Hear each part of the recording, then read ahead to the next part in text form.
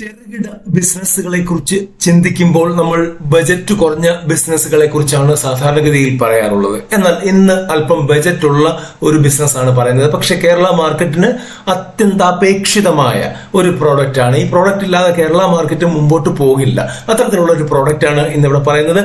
ഈ പ്രോഡക്റ്റ് ഇന്നിപ്പോൾ വരുന്നത് അന്യ സംസ്ഥാനങ്ങളിൽ നിന്ന് തന്നെയാണ്. കാരണം നമ്മളുടെ കേരളത്തിൽ ഇതിനുള്ള യൂണിറ്റുകൾ വളരെ റയറാണ്. അന്യ സംസ്ഥാനങ്ങളിൽ നിന്ന് വന്ന് നമ്മളുടെ കേരളത്തിലെ വിപണി പിടിച്ചടക്കി നമ്മളുടെ മൊത്തം പണവുമായിട്ട് അവർ പോവുകയാണ് ചെയ്യുന്നത്. ഈ പണം നമുക്ക് നമ്മളിലേക്ക് വരുത്താവുന്നതാണ് ഇല്ലെങ്കിൽ സ്വരൂപിക്കാവുന്നതാണ് നമുക്ക് ഇത്തരത്തിലൊരു ഇൻഡസ്ട്രി തുടങ്ങിക്കൊണ്ട്. എന്നാൽ ഈ ഇൻഡസ്ട്രിക്ക് അല്പം പണച്ചെലവുണ്ട്.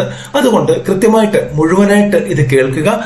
അതിനു മുമ്പ് ഒരു കാര്യം പറയുകയാണ് ഈ ബിസിനസ് എന്നല്ല ഏത് ബിസിനസ് ആണെങ്കിലും മാർക്കറ്റ് സ്റ്റഡി ഫസ്റ്റ് ആയിട്ട് ചെയ്തിരിക്കണം. ആദ്യം ചെയ്യേണ്ട കാര്യം ഈ പറഞ്ഞ സംഭവം നമ്മളിവിടെ ആശയങ്ങൾ മാത്രമേ കൊടുക്കാറുള്ളൂ. ഈ ആശയം നമ്മളുടെ മാർക്കറ്റിൽ പ്രാവർത്തികമാണോ? ഇപ്പോൾ ഞാൻ ആലപ്പുഴയിലാണ് ഇരിക്കുന്നത്. കാസർഗോഡ് ഇരിക്കുന്ന ഒരു വ്യക്തിക്ക് അവിടെ ഇത് പ്രാവർത്തികമാണോ എന്ന് ആദ്യം നോക്കണം. അതിനുശേഷമാണ് അടുത്ത ജില്ലയിലേക്ക് കിടക്കുന്നത് നമ്മളുടെ സ്റ്റേറ്റ് മുഴുവനായിട്ട് വ്യാപിപ്പിക്കുന്നത്. അപ്പോൾ അത്തരത്തിലുള്ള ഒരു സിസ്റ്റം നമുക്ക് ഉണ്ടാക്കിയെടുക്കാൻ പറ്റുമോ? നമ്മൾ മുടക്കുന്ന പൈസയ്ക്ക് അതിനുള്ള ലാഭം ലഭിക്കുമോ? ബിസിനസ് നന്നായിട്ട് ഓടുമോ? എന്നുള്ള കാര്യങ്ങളൊക്കെ കൃത്യമായിട്ട് പഠിച്ചതിന് ശേഷം മാത്രമേ ഇത്തരത്തിലുള്ള തീരുമാനം എടുക്കാൻ പാടുള്ളൂ. ഇന്നിവിടെ പറയാൻ പോകുന്ന ബിസിനസ് ഐഡിയയും അതുപോലെ ഒരെണ്ണമാണ്. നമ്മൾ സാധാരണഗതിയിൽ ഇത്തരത്തിലുള്ള നല്ല നല്ല ചെറുകിട ബിസിനസ് അവസരങ്ങളെ കുറിച്ചാണ് നമ്മളുടെ വീഡിയോയിൽ പറയാറുള്ളത്. ഇന്നും അതുപോലെ തന്നെയാണ്. അപ്പോൾ കണ്ടുകൊണ്ടിരിക്കുന്ന നിങ്ങൾ ഒരു ലൈക്ക് ചെയ്തിട്ട് മുമ്പോട്ട് പോവുകയാണെങ്കിൽ വളരെ നന്നായിരുന്നു. നമ്മളുടെ ചാനൽ ആദ്യമായിട്ടാണ് കാണുന്നതെങ്കിൽ നിങ്ങൾക്ക് സബ്സ്ക്രൈബ് ചെയ്യാം. അതിന്റെ കൂട്ടത്തിൽ തന്നെ ബെൽ ബട്ടൺ അമർത്തി ഓൾ എന്ന് പ്രസ് ചെയ്ത് കഴിഞ്ഞാൽ നമ്മൾ നിരന്തരം ഇടുന്ന ഇത്തരത്തിലുള്ള വീഡിയോകൾ നിങ്ങൾക്ക് അതാത് സമയത്ത് തന്നെ ലഭിക്കുന്നതാണ്. പിന്നെ നിങ്ങളുടെ വിലയേറിയ അഭിപ്രായങ്ങൾ അത് നമ്മളുടെ താഴെ കമന്റ് ബോക്സിൽ കുറിക്കാവുന്നതാണ്. അപ്പൊ നമുക്ക് നമ്മളുടെ കാര്യത്തിലേക്ക് കിടക്കാം ബിസിനസ്സിലേക്ക് കിടക്കാം. നമസ്കാരം ബിസിനസ് ഐഡിയസിലേക്ക് ഏവർക്കും സ്വാഗതം. നമ്മൾ ഉപയോഗിച്ചു വലിച്ചെറിയുന്ന പ്ലാസ്റ്റിക്കുകൾ കർശനമായി നിയന്ത്രിക്കാൻ ഗവൺമെന്റ് തീരുമാനിച്ചു കഴിഞ്ഞു. അപ്പോൾ അത്തരത്തിൽ നിരോധിക്കപ്പെട്ട ഒരു ഉൽപ്പന്നമാണ് സ്ട്രോ അതായത് നമ്മൾ ജ്യൂസ് കുടിക്കുന്ന പാനീയങ്ങൾ കുടിക്കുന്ന പ്ലാസ്റ്റിക്കിന്റെ സ്ട്രോ ഇപ്പോൾ ഇതിന് പകരമായിട്ട് വന്നിരിക്കുന്ന ഒരു പ്രോഡക്റ്റ് ആണ് പേപ്പർ സ്ട്രോ അതായത് പേപ്പറിലാണ് നിർമ്മിച്ചിരിക്കുന്നത്.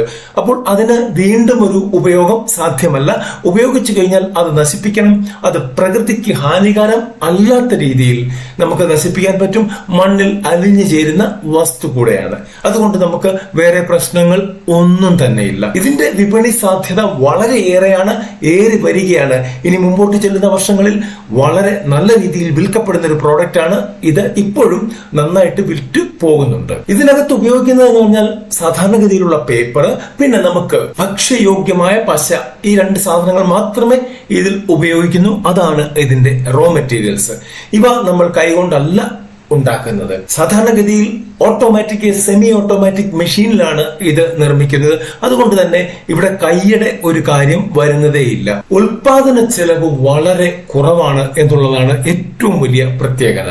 പിന്നെ ഇതിനെ പ്രത്യേകിച്ച് നമ്മൾ ഒരു ബ്രാൻഡാക്കി ഇറക്കണ്ട നമുക്ക് അതിനുള്ള ചെലവുകൾ ഒന്നും തന്നെയില്ല ഇവിടെ ബ്രാൻഡുകൾ ഒന്നും തന്നെയില്ല പ്രോഡക്റ്റ് നന്നായിരിക്കണം. അത് ഒരു ജ്യൂസ് കുടിക്കുന്നത് വരെ കൃത്യമായിട്ട് ഇരിക്കണം. അതിനുശേഷം അത് നശിച്ചു പോയാലോ നനഞ്ഞു പോയാലോ ഒന്നും പ്രശ്നമില്ല. അതുവരെ കൃത്യമായിട്ട് നമ്മൾക്ക് ഉപയോഗിക്കത്തക്ക രീതിയിൽ തന്നെ ആയിരിക്കണം ഈ പേപ്പർ സ്ട്രോ ഉണ്ടാക്കുന്നത്. അപ്പോൾ പ്രോഡക്റ്റ് എന്താണെന്ന് നിങ്ങൾക്ക് വ്യക്തമായി. അപ്പോൾ ഇതിനി എങ്ങനെയാണ് വിൽക്കപ്പെടുന്നത്?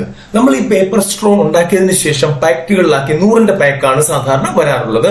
ഈ നൂറിന്റെ പാക്കുകൾ ആമസോണിൽ ഫ്ലിപ്കാർട്ടിൽ പോലെയുള്ള സൈറ്റുകളിൽ കിട്ടുന്നുണ്ട് അതിന്റെ വിലഭാഗം നിങ്ങൾക്ക് സ്ക്രീനിൽ കാണാവുന്നതാണ്. ഈ നൂറിന്റെ പാക്കുകളിലാക്കി അതിനുശേഷം അത് വലിയ കാർട്ടൺ ബോക്സിൽ പാക്ക് ചെയ്ത് വിതരണക്കാർക്ക് എത്തിച്ചു കൊടുക്കുകയാണ് സാധാരണ ചെയ്യാറുള്ളത്. ഇതിന്റെ പ്രധാന മാർക്കറ്റ് എവിടാണ് നിങ്ങൾക്കറിയാം. ജ്യൂസ് കടകൾ അതുപോലെ തന്നെ ശീതളപാനീയങ്ങൾ വിൽക്കുന്ന കടകൾ റെസ്റ്റോറന്റുകൾ സാധാരണ പലചരക്ക് കടകൾ സൂപ്പർ മാർക്കറ്റ് ഹൈപ്പർ മാർക്കറ്റ് അങ്ങനെയുള്ള സ്ഥലങ്ങളിലെല്ലാം തന്നെ ഇത് അത്യാവശ്യമാണ്. നമുക്കിത് ഡിസ്ട്രിബ്യൂട്ടർഷിപ്പ് വഴി വിതരണം ചെയ്യാം. വേണമെങ്കിൽ ഡയറക്റ്റും വിതരണം ചെയ്യാവുന്നതാണ്.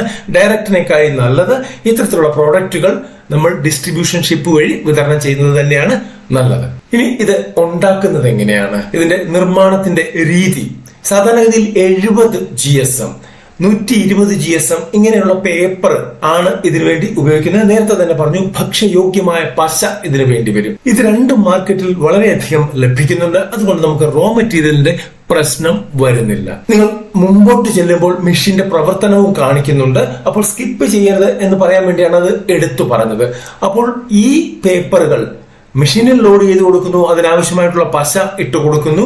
യന്ത്രം തന്നെ ഇതെല്ലാം ക്രമീകരിച്ച് കൃത്യമായിട്ട് നമ്മൾ കൊടുക്കുന്ന അളവിൽ ഉണ്ടാക്കി കട്ട് ചെയ്ത് നമ്മളുടെ കയ്യിലോട്ട് തരികയാണ് ചെയ്യുന്നത്. വ്യാസം എന്ന് പറയുന്നത് അതായത് ആ കുഴലിന്റെ വ്യാസം എന്ന് പറയുന്നത് അഞ്ച് ഉണ്ട്. അത് തൊട്ട് അഞ്ച് മുതൽ പന്ത്രണ്ട് എം എം വരെയാണ് സാധാരണഗതിയിലുള്ള സ്ട്രോകൾ നിർമ്മിക്കുന്നത്. പിന്നെ നമുക്ക് ആവശ്യത്തിനനുസരിച്ച് ഈ മെഷീന്റെ പ്രത്യേകത എന്ന് പറഞ്ഞാൽ നമുക്ക് അതിന്റെ വ്യാസം കൂട്ടണമെങ്കിൽ അതനുസരിച്ച് ഡൈ മാറ്റി ഇത്തരത്തിലുള്ള പ്രോഡക്റ്റുകൾ ഉണ്ടാക്കാൻ പറ്റുന്നതാണ്. സാധാരണ നമ്മൾ കുടിക്കുന്ന കൂൾ ഡ്രിങ്ക്സിന് ചെറിയ സ്ട്രോകളാണ് ഉപയോഗിക്കുന്നത്. പിന്നെ മിൽക്ക് ഷേക്ക് ഷേക്കുകൾ ഇല്ലെങ്കിൽ ജ്യൂസുകൾ പോലെയുള്ള കട്ടിയുള്ള ലിക്വിഡിന് നമുക്ക് സ്വല്പം കൂടെ വ്യാസം കൂടിയ സ്ട്രോ ആണ് ഉപയോഗിക്കുന്നത്. ഇത്തരത്തിലുള്ള രണ്ട് ടൈപ്പാണ് ഏതാണ്ടൊക്കെ മാർക്കറ്റിൽ കൂടുതലായിട്ടും ലഭ്യമാകുന്നത്. പിന്നെ ഇതിന്റെ ഹൈറ്റിന് വ്യത്യാസം വരും. ചെറിയ ഹൈറ്റ് മീഡിയം ഹൈറ്റ് വലിയ ഹൈറ്റ് അത്തരത്തിലും വ്യത്യാസം വരുന്നുണ്ട്. ഇവിടെ ഏറ്റവും പ്രധാനപ്പെട്ട കാര്യം ഞാൻ ആദ്യമേ പറഞ്ഞു ബജറ്റ് അല്പം കൂടുതലാണ് എന്ന്.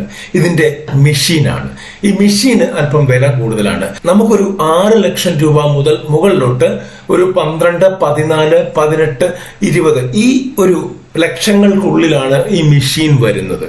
അത് മാത്രമാണ് നമുക്ക് ആദ്യത്തെ ഒരു സ്ട്രെയിൻ വരാൻ പോകുന്നത്. എന്നാൽ ഈ മെഷീൻ എടുക്കുമ്പോൾ നമുക്ക് നമ്മൾ സർക്കാരുമായിട്ട് ബന്ധപ്പെട്ടാണ് ഈ ബിസിനസ്സിൽ മുമ്പോട്ട് പോകുന്നതെങ്കിൽ ഡി ഐ സിയുമായിട്ട് ബന്ധപ്പെട്ടാണ് മുമ്പോട്ട് പോകുന്നതെങ്കിൽ ഇത്തരം മെഷീനുകൾക്ക് സബ്സിഡി ലഭിക്കാറുണ്ട്. നിങ്ങൾക്ക് ആ സബ്സിഡി ലഭിക്കും. മുപ്പത് ശതമാനം വരെയൊക്കെ സബ്സിഡി ലഭിക്കുന്നുണ്ട്. അവരുമായിട്ട് ബന്ധപ്പെട്ട് മുമ്പോട്ട് പോവുകയാണെങ്കിൽ നിങ്ങൾ ഈ മുടക്കുന്ന മുതലിന്റെ മുപ്പത് ശതമാനം വരെ നിങ്ങൾക്ക് സബ്സിഡി ലഭിക്കുകയും ചെയ്യും. അപ്പോൾ ആ ഒരു ഇനിഷ്യൽ എമൗണ്ട് നമുക്ക് സ്വല്പം സ്ട്രെയിൻ ആയിട്ട് തോന്നാം എന്നുള്ളതേ ഉള്ളൂ. നമുക്കൊരു അൻപതിനായിരം പേപ്പർ സ്ട്രോ ഒരു ദിവസം എന്ന രീതിയിൽ വിറ്റ് പോവുകയാണെങ്കിൽ കാരണം അങ്ങനെയല്ല ഇത്തരത്തിലുള്ള കാര്യങ്ങൾ വിറ്റ് പോകാൻ തുടങ്ങിക്കഴിഞ്ഞാൽ ലക്ഷങ്ങളിലായിരിക്കും ഒരു ദിവസത്തെ കണക്ക് വരുന്നത്. അപ്പോൾ അത്തരത്തിലുള്ള ഒരു ചെറിയ ബിസിനസ് സെറ്റപ്പാണ് ഇവിടെ പറഞ്ഞത്. നമുക്ക് നല്ല ലാഭം കിട്ടുന്ന ബിസിനസ്സാണ് ഈ ലാഭം കിട്ടണമെങ്കിൽ നമ്മൾ ആദ്യം മാർക്കറ്റ് സ്റ്റഡി ചെയ്യണം. ഫീസിബിൾ ആണോ എന്ന് നോക്കണം. നമ്മളുടെ സ്ഥലത്ത് നടക്കുമോ എന്ന് നോക്കണം. നമുക്ക് എന്തൊക്കെ ബുദ്ധിമുട്ടുകൾ ഉണ്ടാവാൻ സാധ്യതയുണ്ട് എന്ന് നോക്കണം. അതെല്ലാം തരണം ചെയ്ത് നമ്മൾ ഇത്തരത്തിലുള്ളൊരു പ്രോഡക്റ്റ് റെഡിയാക്കി കഴിഞ്ഞാൽ അതിനെ മാർക്കറ്റിൽ ഇറക്കി മാർക്കറ്റിംഗ് കൃത്യമായിട്ട് നടക്കുന്നുണ്ടെങ്കിൽ നമ്മളുടെ പ്രോഡക്റ്റ് വിറ്റുപോവുകയും ചെയ്യും. അപ്പോൾ ഇതൊരു ജസ്റ്റ് ഐഡിയ മാത്രമാണ്. നമുക്ക് ജസ്റ്റ് അറിയാൻ പാടില്ലാത്ത ഒരു ഐഡിയ നിങ്ങളിലേക്ക് തരിക എന്നുള്ളത് മാത്രമേ ഉള്ളൂ. വീഡിയോ ഇഷ്ടപ്പെട്ടെങ്കിൽ നേരത്തെ പറഞ്ഞ പോലെ ലൈക്ക് ചെയ്യുക കമന്റ് ചെയ്യുക ഷെയർ ചെയ്യുക. കൂടാതെ ചാനൽ ആദ്യമാണെങ്കിൽ സബ്സ്ക്രൈബ് ചെയ്ത് ബെൽബട്ടൺ അമർത്തി ഓൾ എന്ന് പ്രസ് ചെയ്ത് കഴിഞ്ഞാൽ നമ്മളുടെ ഇത്തരത്തിലുള്ള വീഡിയോകൾ നിങ്ങൾക്ക് അതാത് സമയത്ത് ലഭിക്കും. നന്ദി നമസ്കാരം.